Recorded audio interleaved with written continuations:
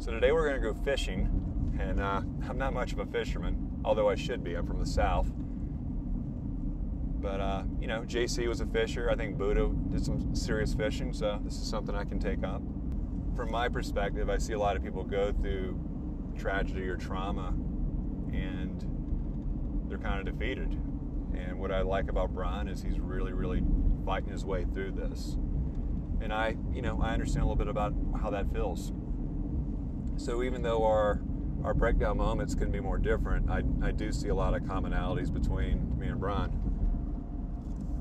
I believe that he has some real magic, for lack of a better word, happen out here. So I'm excited to tell along with him and see what that's all about.